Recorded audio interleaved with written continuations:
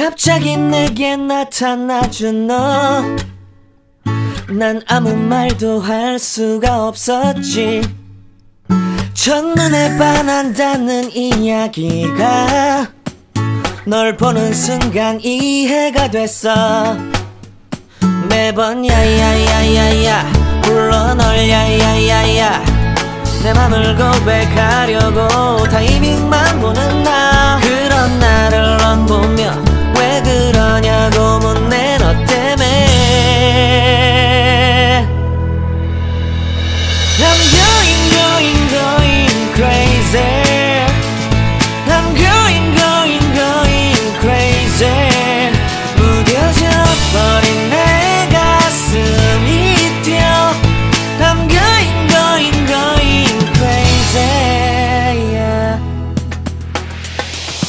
시간은 계속 흘러만 가고 기다리다 지쳐 그만 널 놓칠까봐.